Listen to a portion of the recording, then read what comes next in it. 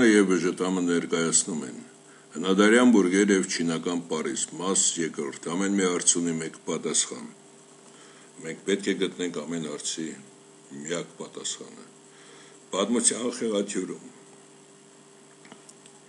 քաղաքակրթություն եւ հունական փիլիսոփայություն։ Եթե մենք վերցնում ենք Հունաստանը որպես քաղաքակրթության օրան,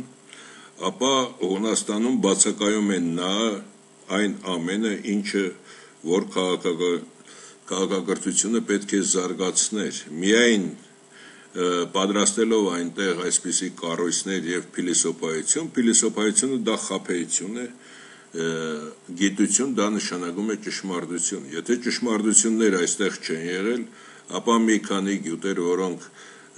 գյուտեր էլ չեն, դրանք հազարավոր տարիներ առաջ մարդիկ իմացել են, այդ մասին դա նույնպես խափեություն է։ Եվ անցնենք պատմության կեղծիքներին։ Ալեքսանդր Մակեդոնացի Ալեքսանդր Մակեդոնացին շատ կարճ եմ խոսում այս մասում, որովհետեւ մոտավորապես դուք պատկերացում ունենաք ինչի մասին է հարցը։ Լինելով 18-ից 20 տարեկան երեխա, նա չէր կարող հասկանալ աշխարհի մասին կամ փորձեր աշխարհակալ լինել, նա միայն պետք է խաղերով եւ նմանատիպ զբաղմունքներով զբաղվեր, օրորտներով եւ այլն։ Բայց նրան իբր Ալեքսանդր Մակեդոնացին է ինքը այդ ամենը կազմակերպել, անգլիական թակավորական ընտանիքի կազմակերպեց այնպես, որբիսի այս մասերը գրավի եւ հետո բաժանվի 3 մասերի, այն մասերի, որը իրեն պետք էր, որ այդպես բաժանվեր իբր Ալեքսանդր Մագեդոնացու վերցրած մասերը։ Եվ այստեղ կարևոր նաև մեկ լուր ցանկացած իրեն ենթակալ լրտեսի ինչպես Ալեքսանդր Մագեդոնացին է վերջում թունավորում կամ սպանում են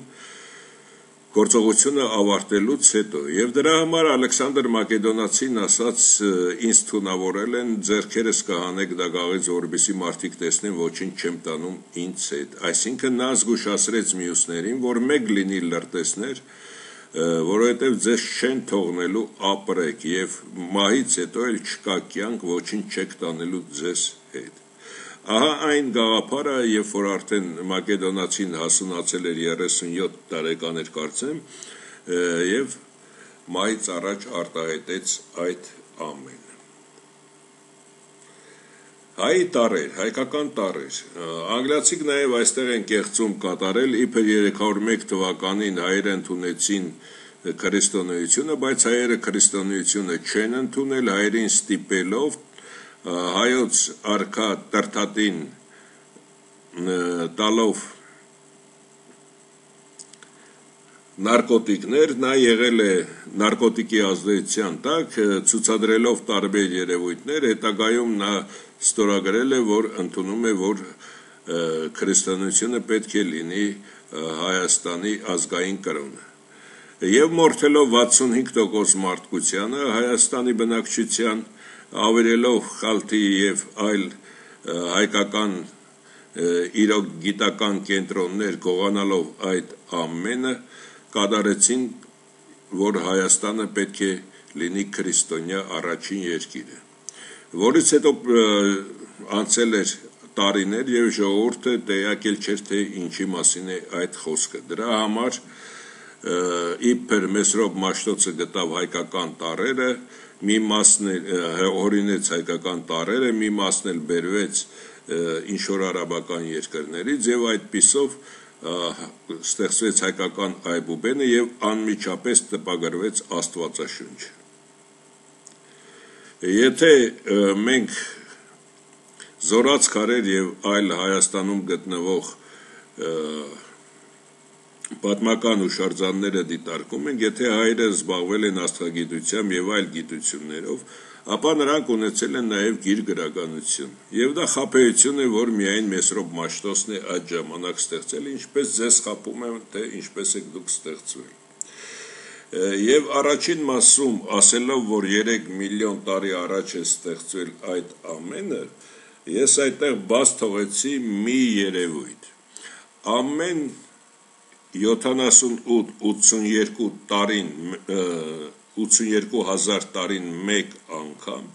երկրի տետե դաշտերը եւ մագնիսական դաշտը փոփոխվելով տեղի ունենում երկրագնդի մասնակի ոչնչացում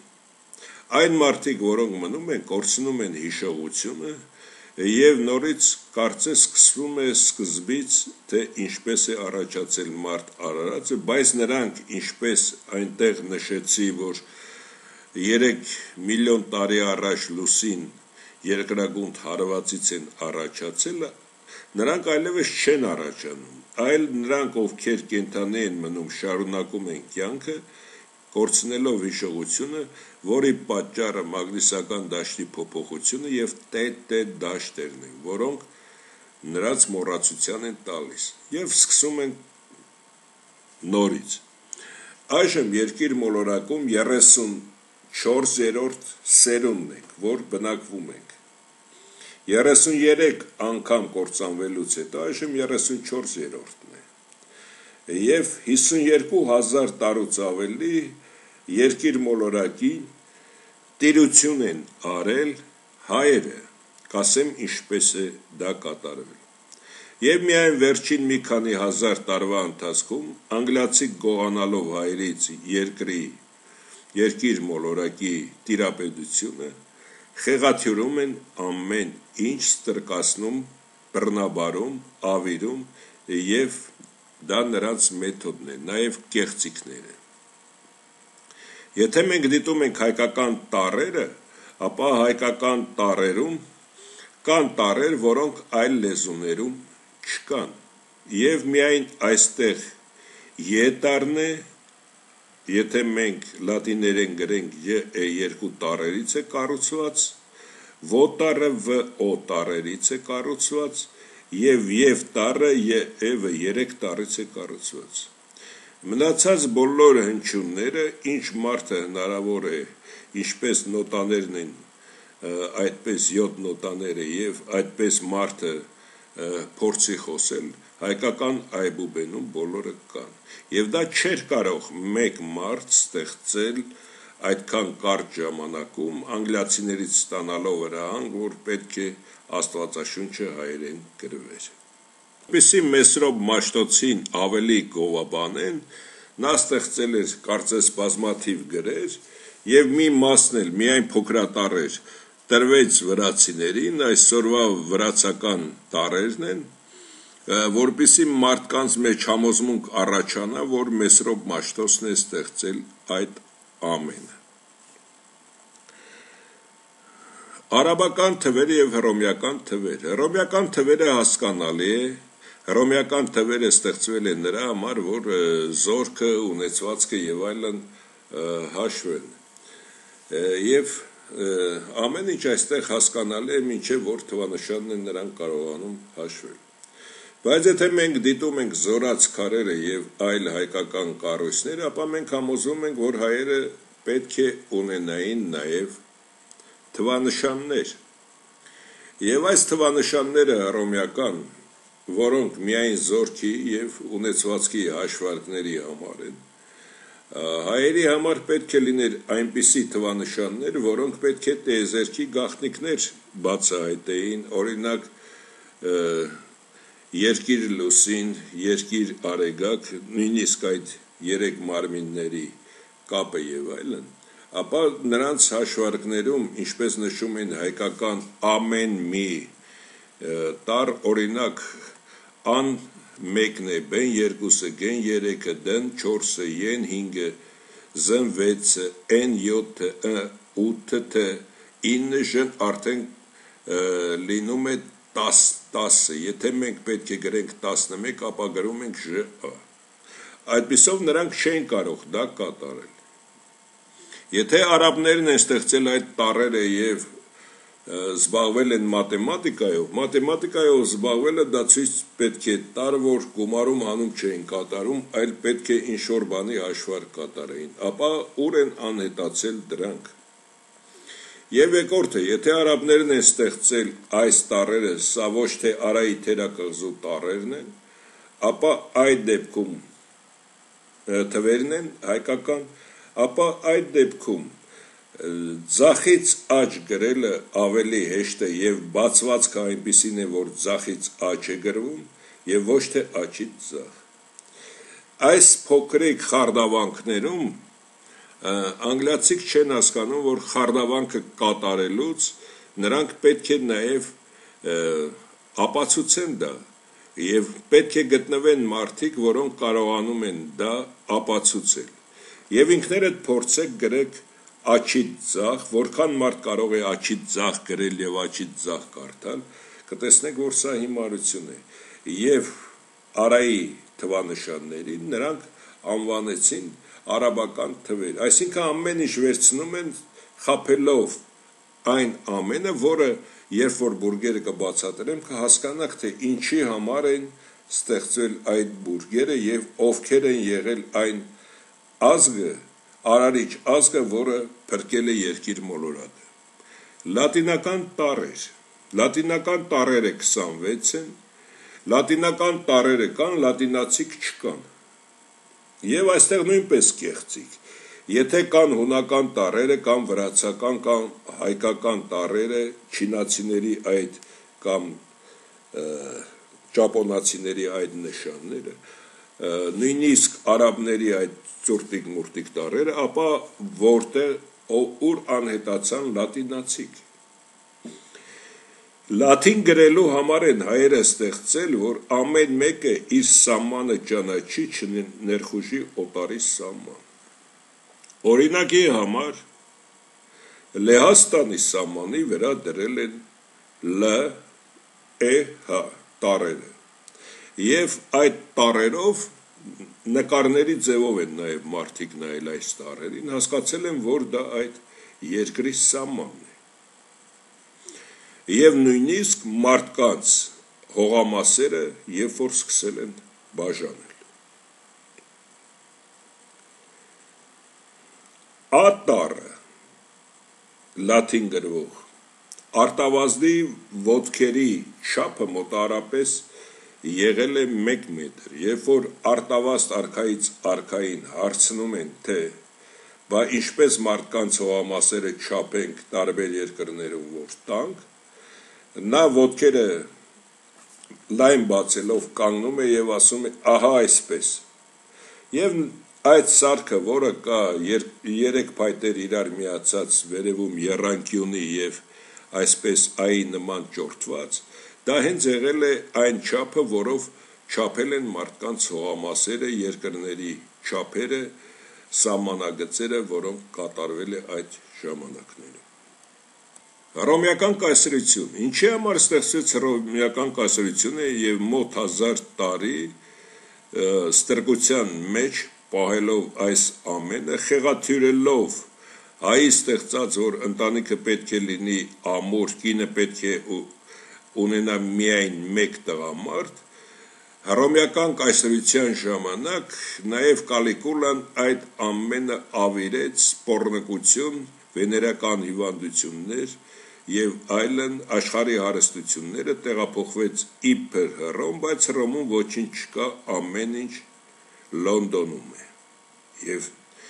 նույնիսկ Անգլիայի մի մասն էլ հսկում էին հռոմեական կայսրությունը իբր։ Եվ այստեղ նաև մեկ խարդավանք, եթե աշխարհի բնակչությունը, մարդիկ, նույնիսկ անգլիացիք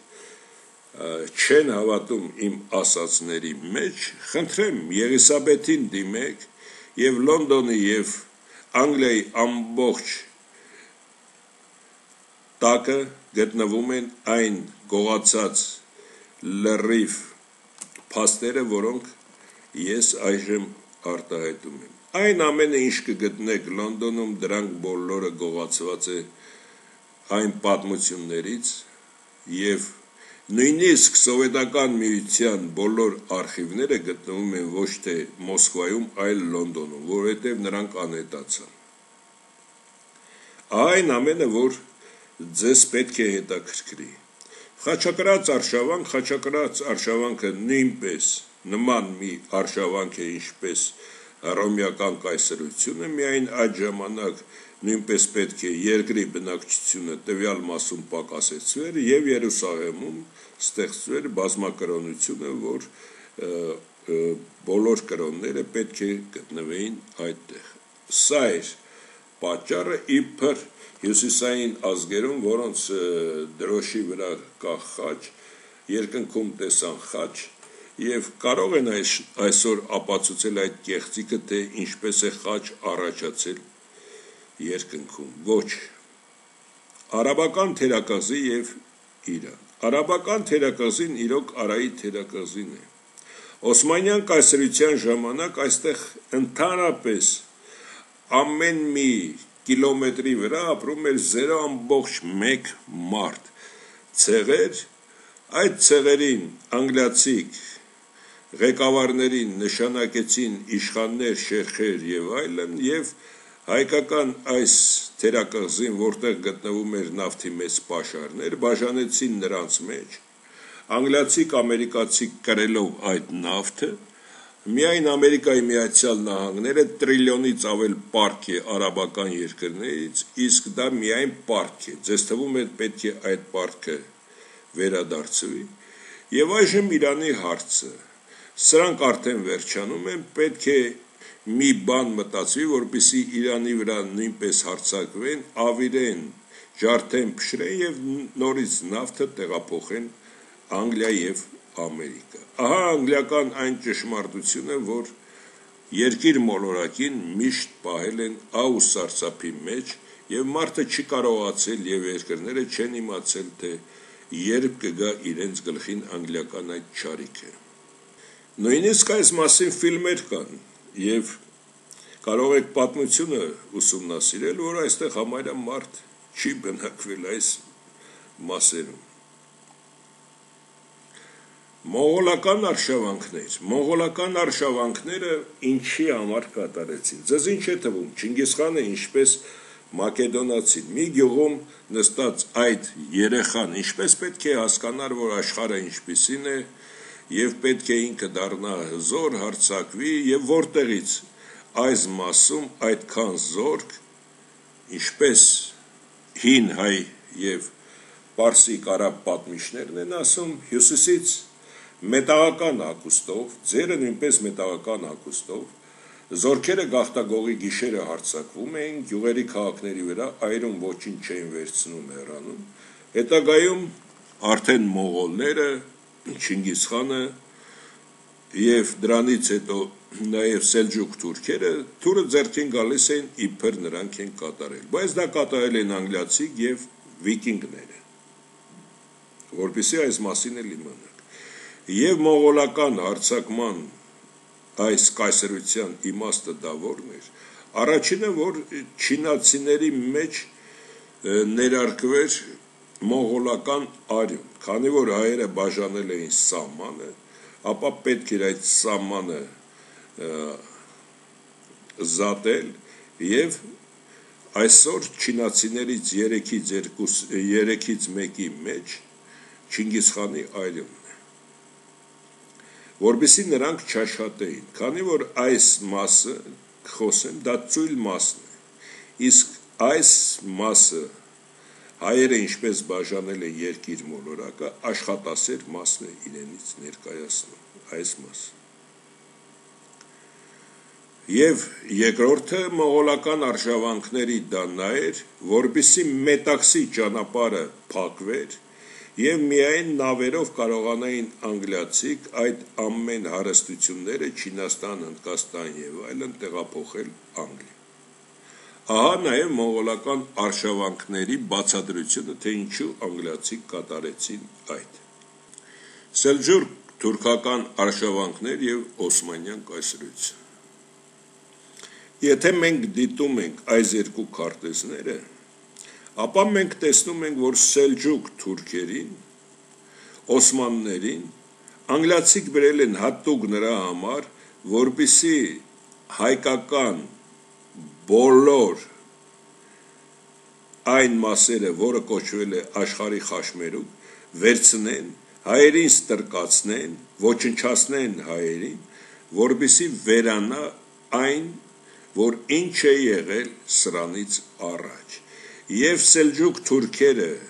միակ ցեղախումբն են վայրակ, ինչպես բարբարոս անգլիացիք, որ իրեն ճանապարհին ոչնչացել են ամեն ինչ։ Դրա համար այսօր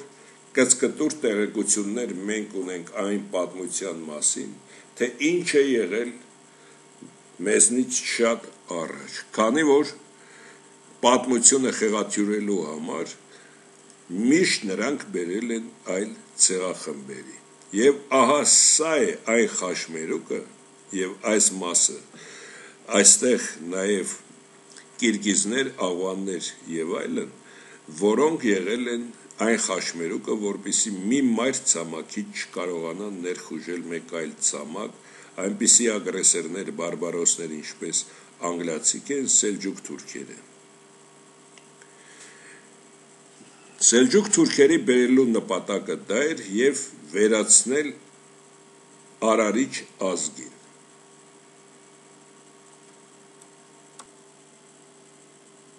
Ո՞մն է եղել այս տարածքը։ Ասում են, որ այստեղ ապրել են բյուզանդացիք։ Իսկ ովքեր են բյուզանդացիք։ Ինչու անհետացան բյուզանդացիք։ Եվ ինչ որ սել,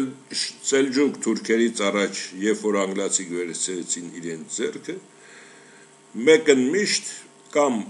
հույներն էին թակավոր կամ հայերն էին թակավոր մեկ հույները մեկ հայերը այս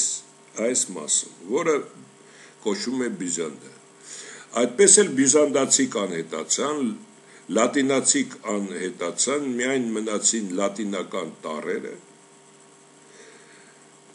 եւ նաեւ այլ ազգեր ցեղատեսակներ եւ այսօր տեսեք այն ինչը հայերը տիրապետել են միայն մի մասը տրվել է Անգլիայի ցանկությամբ թուրքերի եւ հայերին այս փոքրիկ մասը այստեղ հայաբնակ նաեւ Արցախը այս օրերին կտրեցին Հայաստանից Թուրքիան Ադրբեջանը անգլիական նավատորմը այստեղ կանգնած եւ Ռուսաստանը Հայաստանի ներսում գտնվող անգլիական լրտես ղեկավարների միջոցով, որոնք KGB-ի լրտես են, Պուտինն է անգլիական լրտեսը, այդպիսով 40 օրում կայծակնային արագությամբ այդ տարածությունը հայերից վերցրեցին, ոչնչացնելով նորագույն վերջին զենքերով հայերին, նաև կատարելով փորձեր, թե այդ զենքերը ինչպես են աշխատում ամ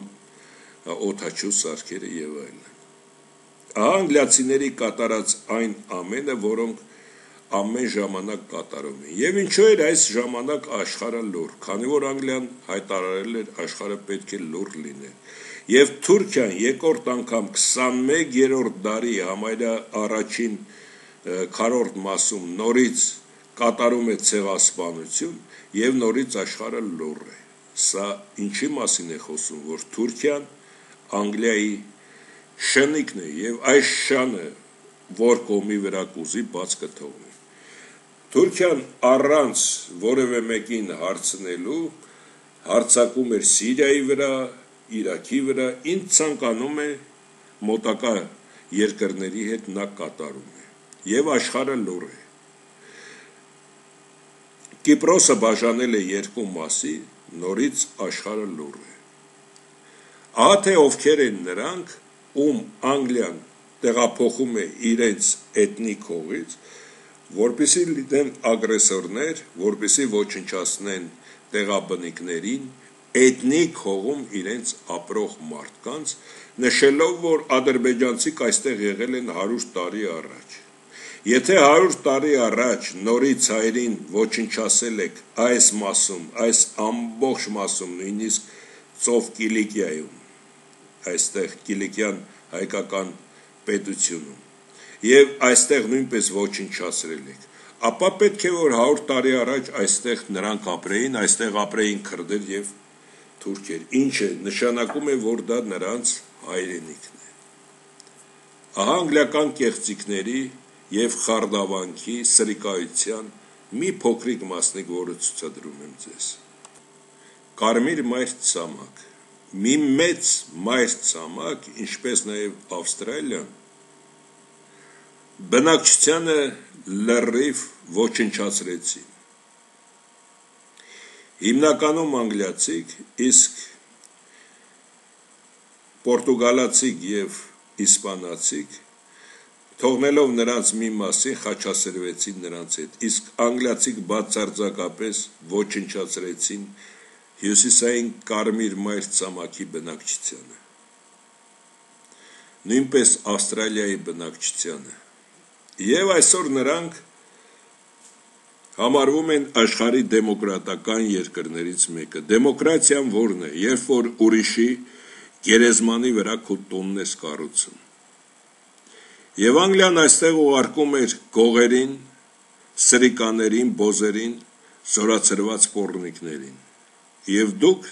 սիրելի կարմիր մայր ցամաքի այժմյան բնակիչներ, գողերի, ավազակների, բոզերի, պորնիկների հետնորդներ եք, ուրիշ ոչինչ եւ դուք ձեր տունը կառուցել եք ուրիշի գերեզմանի վրա սա էթնիկ կարմիր մայր ցամաքի մարդկանց հայրենիքն է դուք այստեղ հայրենիք չունեք դուք առանց հայրենիք եք եւ եթե ամերիկյան ֆիլմերն են ցուցադրում հանուն մեր երկրի դա ձեր երկիրը չէ ինչպես նաեւ դիմում եմ 1 միլիոն հայերին որոնք բնակվում են Ամերիկայի Միացյալ Նահանգներ կոչված այդ տականկությունում։ Դա ձեր հայրենիքը չէ, վերադարձեք ձեր հայրենիքը։ Դա օտարի, դա կարմիր մարդկանց էթնիկ հողն է։ Երկիր մոլորակում. 78-82 հազար տարին մեկ տետե եւ մագնիսական դաշտերի փոփոխության պատճառով Այն մարդիկ, որոնք գտնվում են եւ բուսական կենթանական աշխարհը իրենց ոչ էթնիկ հողում, նրանք անմիջապես կմահանան։ Թե ինչու չեմ ասի նաեւ պատճառը։ Կմնան միայն տեղացիները։ Դրա համար սա ձեր հայրենիքը չէ։ Եթե դուք հայ եք, վերադարձեք ձեր Հայաստանը։ Եթե դուք անգլիացի եք, վերադարձեք ձեր հայրենիքը։ Եվ ասեք, որ մեզ խափեաբար ուղարկել եք այնտեղ, սա մեր հայրենիքը չէ, մեր հայրենիքը սա է։ Եթե դուք գերմանացի եք, վերադարձեք ձեր հայրենիքը կամ ֆրանսիացի, ինչպես ասում են։ Բայց Կանադան իբր ֆրանսիական էր, գաղութ, բայց այսօր Թուրք է մուծում եւ հանդիսանում է միացյալ թակավորության մաս։ Իսկ ձեզ թվում է Ամերիկա միացյալ նահանգներ կոչող այդ երկիրը դա դեմոկրատական երկիր է եւ չի պատկանում անգլիական թակավորական ընտանիքին, ապա դուք սխալվում եք։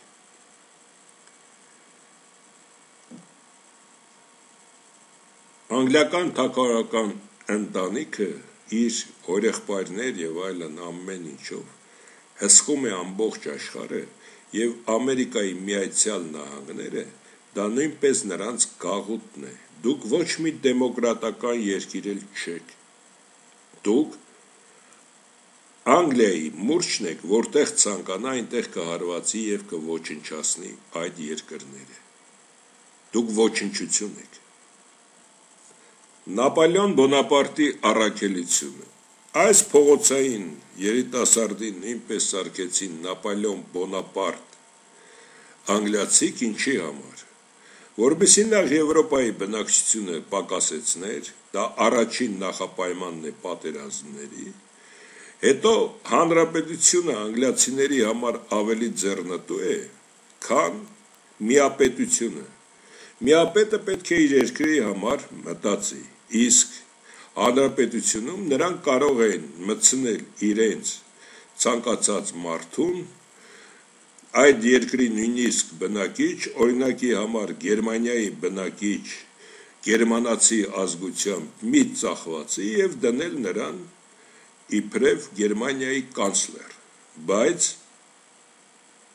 նա պետք է կատարի Անգլիայի ցանկությունը։ Եվ այդպես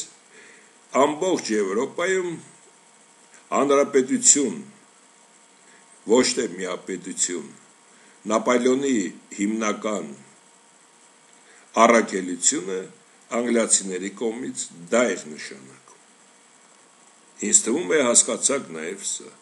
Եվ Նապոլեոնը հասկանալով, որ իրեն նույնպես խაფել են, ռուսները հարցակվելով արդեն Նապոլեոնին պետք է բռնեին, հայտնվում են անգլիացիք Նապոլեոնին բռնում, հենց իրենք դատում ուղարկում Սուրբ Հեղինե կարծեմ կղզին, այնտեղ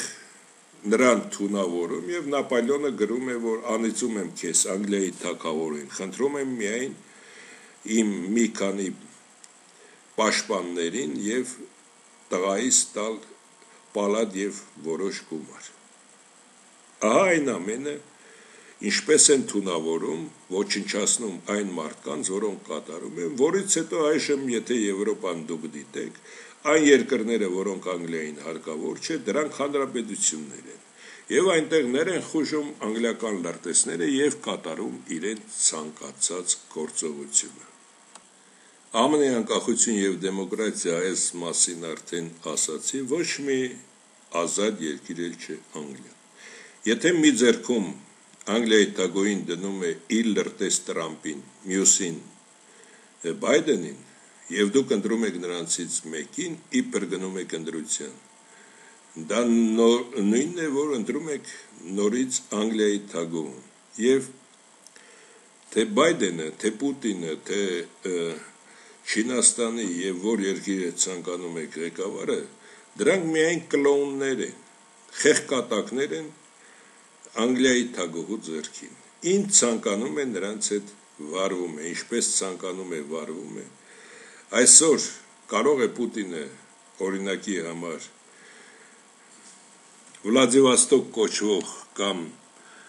Չեչնիա կոչվող հարցակվի ոչնչացնի նրանց, քանի որ Անգլիայի թագուհու ցանկությունն է։ Վաղը կարող է հարցակվել Լեհաստանի վրա, ինչպես հարցակվեց Ադրբեջանի եւ Թուրքիայի հետ միասին Հայաստանի վրա ինչ ցանկանա Անգլիայի թագուհին, նա պետք է կատարի։ Նույնն էլ այստեղ Ամերիկայի Միացյալ Նահանգներ կոչված կես միլիարդանոց այդ բնակչությունը, որոնց Անգլիայի թագուհին պետք է հասցնի 100-120 միլիոնի, ոչ ավելի։ Մնացածի բոլորին ոչխարի նման կոտորելու են, թափելու են աղբանոց։ Այժմ խոսենք նաև Եկատերինայի եւ Այլասկայի մասին։ Այս գեղեցկադեմ կինը իբր նա չէր բավարարում տղամարդկանցով եւ տրվում էր ձերին իր կիրքը հանգստացնելու համար։ Դա абսուրդի նաեւ մի մաս է։ Ինչպես գիտենք, բույսերից ստացվում են ինչպես դեղեր, նաև ստացվում են գրգռվող, գրգռող եւ այլ հատկություններ ունեցող նարկոտիկներ եւ նման տիպի ցանկացած դեղ։ Այժմ ապտեկներում կա մեծ կենթանիներին, որբիսի ունենա սեռական հարաբերություն, տալիս են մեծ դոզայով այդ դեղերը եւ նրանք ցանկություն են ունենում այլ գենակցության։ Նույնը Եկատերինային անդադ իր ուտեսների հետ տվել են դա եւ նա չի հասկացել, որ հենց ուտեսներով է տրվում դա Եվ նպատակը անգլիացիների եղել են նա, որպիսի Այլասկան նա վաճառի, ռուսներից վերցնի Այլասկան, որը անվանի Ամերիկայի Միացյալ Նահանգներ։ Իսկ ինչու Այլասկան Ամերիկայի Միացյալ Նահանգներ, այդ մասին կխոսենք, որպիսի ավելի լավ հասկանաք, թե Այլասկայի իմաստը ինչու էր կայանում։ Իսկ եթե կասկածում եք Եկատերինայի իմ ասացի մեջ, ապա նրա գերեզմանը գտնվում է Ռուսաստանում։ Խնդրեմ քանդեք, նորագույն սարքերով ստուգեք եւ կտեսնեք, որ ես ճշմարտություն եմ խոսում։ Առաջին համաշխարհային պատերազմ։ Գևորգ Կինգը Եղեսաբեթի պապը ստեղծեց առաջին համաշխարհային պատերազմը, պատճառները ինչեր հարկավոր առաջին համաշխարհային պատերազմ նախ պետք էր այս ավստրո-հունգարական եւ օսմանյան կասելությունը բաժանել մասերի, ստեղծել մանր երկրներ, քանի որ խոշոր երկրներում էլեկտրոշարժիչներ, էլեկտրակայաններ եւ այլն, գիտությունը եւ տեխնիկան, ռադիոկապ կարող էր արագ զարգանալ, որբիսի արագ չզարգանալ մանր մասնիկների բաժանեց եւ Եվրոպան եւ Օսմանյան կայսրությունը, միևնույն ժամանակ հայերը, քանի որ խելացի ազգ են, հայերին պետք է կոտորվեր Գևորգինգի հրահանգով եւ բացի դա հայերին պետք է մցվեր սովետական միության կազմի մեջ, որպիսի գրոշներով աշխատեն, ինչպես Միկոյան եղբայրները, Ալեխանյան եղբայրները եւ այլն ստեղծեն սովետական միության այդ հզոր ռազմատեխնիկական բազան, որից հետո Ելցինը պետք է դա նվիրեր ամերիկացիներին, անգլիացիներին եւ սովետական միության մարդիկ աշխատում էին 80-ից 120 ռուբլով։ Ծայրը ծայրին հասցնելով դա էր միակ պատճառը եւ այսօր Հայաստանը այլևս պետք չէ, Հայաստանը պետք է կամ Թուրքիային կամ Ադրբեջանը այսօր հզորացել են եւ պետք է ոչնչացնեն Հայաստանը։ Այն ամենը ինչ կատարեց Գևորգ 5-ը եւ փոքր երկրները չեն կարող արդեն ստեղծել խոշոր հիդրոէլեկտրակայան, էլեկտրակայան, նաև գնացքներ եւ այլն դրա համար մասնատեց մասերի։ Միևնույն ժամանակ ինչպես ամեն պատերազմի ժամանակ է երկիր մոլորակի բնակչությունը այս մասում հասցրեց մինիմումի, որից հետո հանձնեց իր բարեկամին, որը պետք է հանձներ Գևորգ 5-ի տղային Գևորգ 6-ին։ Անգլիական թակավորական ընտանիքի օրենքով, երբ որ արդեն նա մահին մոտ է, նա պետք է երկիրը մաքրի, կատարի պատերազմ ոչնչացնի մարդկության մի մասին եւ հանձնի հաջորդին։ Եվ ինչպես տեսնում ենք, Անգլիական թակավորական ընտանիքը ունի տարբեր մեդալներ կախված, դա այն մեդալներն են, որ ինքը կատարել է առաջին համաշխարհային պատերազմը եւ այլ ոչ թե հաղթել է, այլ կազմակերպել է եւ իր նպատակներին կարողացել է հասել ոչնչացնելով այդքան մարդ։ Ահա այն, իսկ եթե ձեզ ներկայացնում են այլ պատճառներ, այդ պատճառները սուտ է։ Նաև այստեղ մեկ բան, արդեն պետք է լինեին հանրապետություններ, դրա համար Ավստրիայի թակավորին ոչնչացրեցին, ռուսական ցարը, որը հանդիսանում էր նաև նրանց ազգականը, նրան նույնպես ընտանյոք հանդերձ գնդակահարեցին, որբիսի Ռուսաստանը լինի սովետական, այսինքն ոչ միապետություն եւ Եվրոպայում ստեղծվեցին հանրապետություններ։ Ահա այն ամենը, որը կատարվեց առաջին համաշխարհային պատերազմում Գևորգ 5-ի հրահանգով։ Հայոց հերթական ցեղասպանությունը եւ դա կատարելով այս թուրքաջհուդ սրիկաները Գևորգ 5-ի հրահանգը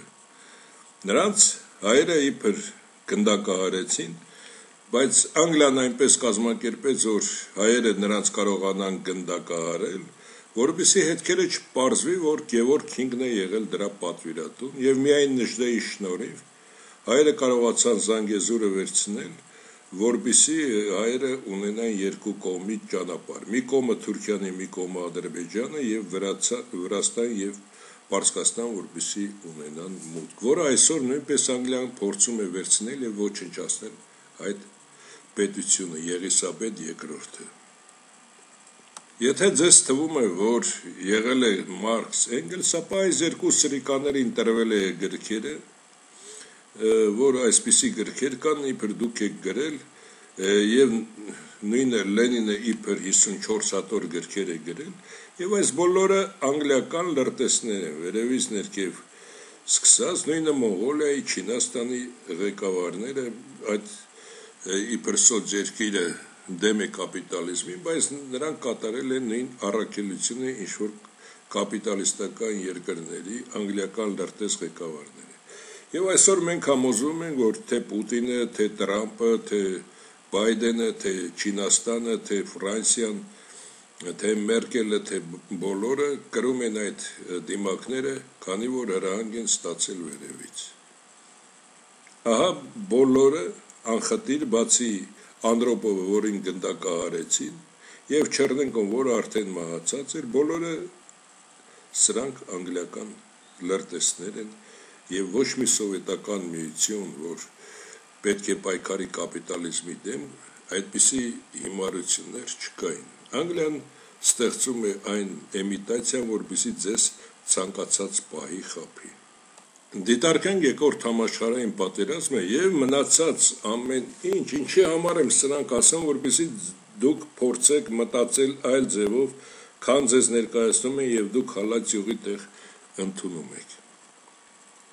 Եթե մենք դիտում ենք քարտեզը, ապա այստեղ տեսնում ենք, որ Շվեդիան չի մտել պատերազմի մեջ եւ Շվեյցարիան։ Շվեդիան հայտարարել է, որ ինքը պատերազմին չի մասնակցում եւ նրա վրա չեն արձակվել։ Այսինքն, եթե խուլիգանը կամ խուլիգանները արձակում են մյուսներին ոչնչացնելու, մեկ ասում է ես գործ չունեմ, նրան ասում են դե լավ դու անցի մի կողմ նույնը Շվեյցարիա։ Եվ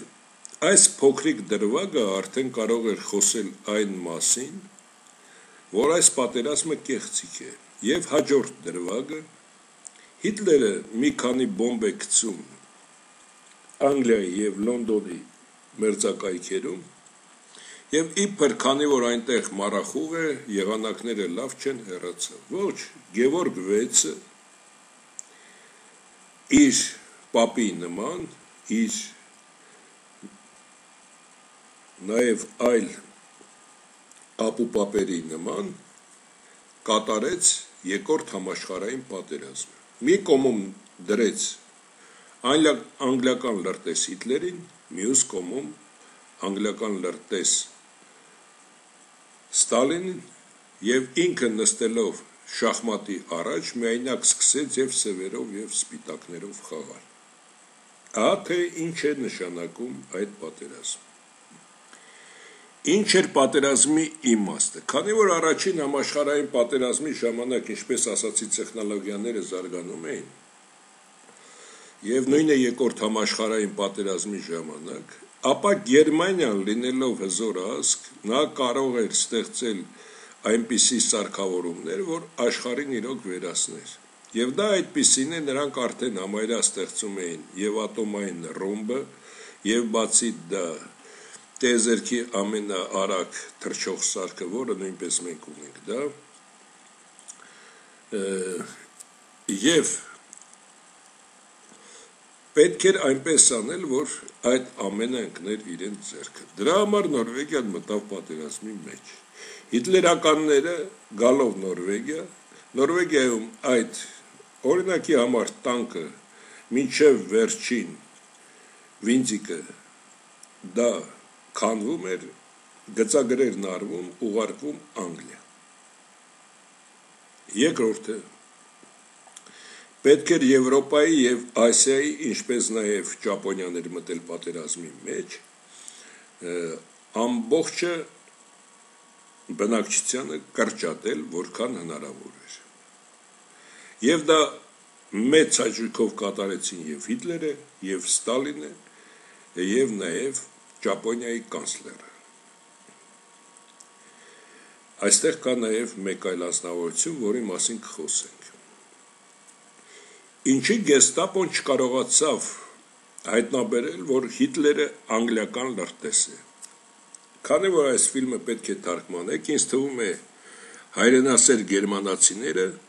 արխիվներում կգտնեն եւ իրոք կհամոզեն, որ սա ճշմարտություն է։ Հիտլերը իբր արդեն հոգնել էր իր առաջին սիրուհուն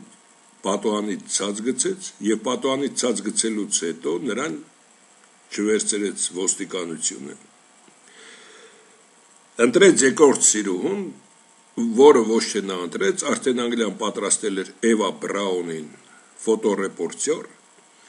որպիսի նրանք միասին ապրեին, ինչպես նաև Լենին Կրուպսկայա կապն է եղել։ Նրանք ամուսիններ չեն եղել, այլ երկուսն էլ անգլիական լրտեսներ։ Երբ որ Հիտլերը հասկացավ, որ Լենինը սխալ է կատարում, Կրուպսկայան նրան թունավորեց եւ անհետացավ Լենինը, որից հետո Ստալինն էր։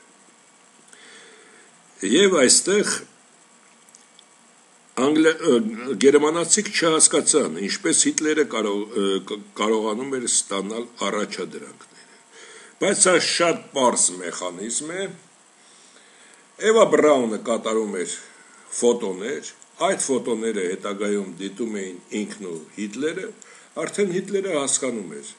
որ եթե Էվան կատարել է նախորոք պայմանավորված պարտեզում, որտեղ արդեն անգլիացիք տեղադրել էին վարդեր եւ այլն, կարմիր վարդեր, ապա պետք է հարցակվել Ռուսաստանի վրա եւ եթե չկային օրինակի համար կապույտ վարդեր, ապա Անգլիայի վրա այլևս չի հարցակվելու, հարցակվելու է սովետական միության վրա։ Ահա այն սխեման, որով աշխատել են Էվա Բրաունն ու Հիտլերը։ Իսկ Ստալինը Վոլֆ Մեսինգ կար, այդպիսի անձնավորություն, որը իբր Լեհաստանից, բայց Անգլիայից ուղարկված այդ լրտեսը, քանի որ Ստալինը արդեն տեղյակ չէր ինչ է կատարում պատերազմի ժամանակ նրան չէին կարողանում լրտեսները հայտնել, Ստալինը ուներ երկարատև ճանապարհ եւ KGB-ն եւ Ձերժինսկին լավ հսկում էին, կարող էին անմիջապես հասկանալ, որ Մեսինգը զինվորների հետ հանդիպման ժամանակ այդ խարդախը իբր հայտնեց, որ 43 թվականի այսինչ օրը տեղի ունենալու Բեկում պատերազմում եւ սովետական միությունն է հարցակվելու արդեն Գերմանիայի վրա եւ հաղթի։ Հենց այդ փաստը ինձ հուզեց եւ Վոլգոգրադ, Ստալինգրադ այդ քաղաքում ծերերին հարցնելով, դիտելով այդ ամենը, նրանք պատասխանեցին, որ ինչ ես խոսում, այ ընկեր, արդեն մենք հանձնվել ենք, դա հրաշք էր, որ Ֆեդմարշալ Պաուլուսը հանձնվեց, քանի որ արդեն մարդ չկար, բոլորը փլատակների տակ մահացած էին։ Այսինքն սա նույնպես պայմանավորված էր եւ հետագայում այնպես էր պլանավորված, որ Բերլինի եւ Գերմանիայի մի մասը պետք է անգլիացիք վերցնեին, մի մասը պետք է վերցնեին վերցներ սովետական միությունը։ Եվ Ստալինը ինչու չփախավ, ինչպես ամբողջ Կրեմլը գտնվում էր Նովոսիբիսկում, այլ ինքը Մոսկվայի մետրոներում էր այս վախկոտ լրտեսը, քանի որ Մեսինգը արդեն հայտնել էր, թե ինչ է տեղի ունենալու։ Ահա այն լրտեսությունը, որը շատ գրագետ ձևով անգլիացիք կատարում են, որը պրիմիտիվ է ինձ համար, ձեզ համար դա միգուցե հրաշքներ են, միգուցե շատ լավ ձևով են այդ ամենը կազմակերպել։ Եվ ցանկացածի կարելի էր այդ ձևով անմիջապես բռնել։ Իսկ այստեղ գեներալ դե Գոլն է։ Գեներալ դե Գոլը ինչի դարձավ Ֆրանսիայի հերոս դա Գևորգ 6-ի նաև շնորհիվ էր որովհետև երբ որ գերմանացիք հարձակվեցին Ֆրանսիայի վրա, նա անմիջապես փախավ Անգլիա, անգլիացիներին հայտնեց ֆրանսիական նավատորմի տեղը եւ անգլիացիք ոչնչացրեցին։ Կարծես անգլիացիք չէին կարող դա օգտագործել կամ շատ հերրու հերացնել պատերազմի զոնայից այդ նավատորմը կամ հանձնել ռուսներին, որպեսզի ռուսները դրանով պայքարեին, հետագայում պարկ մնային Ֆրանսիային։ Ոչ դա նրա համար էր արված անգլիական լրտես դեգոլը, որպեսզի Ֆրանսիան նույնպես պատերազմից հետո գտնվեր պարտքերի մեջ, ինչպես սովետական միությունը եւ այլ երկրներ։ Սովետական միության եվրոպական մասը փլատակների տակ էր եւ իբր Ստալինը հաղթեց բայց ոչ մի Ստալին կամ ոչ մի երրյակ էլ չհաղթեց. Ամերիկա, Անգլիա եւ սովետական միություն, այլ հաղթեց Անգլիան։ Կարծես հիտլերականները անասուն էին եւ կոնսլագերներից հավաքված ատամներ եւ զարդեր այդ ոսկիները 14 վագոն անգլիացի գտան անմիջապես վրան ածուկ բարձեցին եւ ուղարկեցին Անգլիա։ Եթե այդպես է, ապա ազնիվ թակավոր լինելով եւ ազնվագույն ազգ դա պետք է հանձնվել լե, ռուս եւ նաեւ հрья այդ մահացածների ազգին, քանի որ դա նրանց ոսկին էր։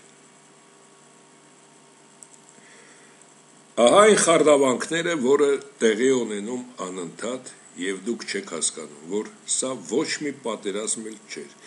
Եվ Շվեյցարիան չմտավ պատերազմի մեջ, Հիտլերը չհարցակվեց այնտեղ, սա կարծիք կասկածի ամենամեծ առիթն է նույնը Շվեդիա։ Եվ սա թողնում եմ ձեր մտածելուն, թե ինչու նաև սա չկատարվեց։ Ահա համաշխարհային պատմության մեջ, ինչպես նաև արխեոլոգական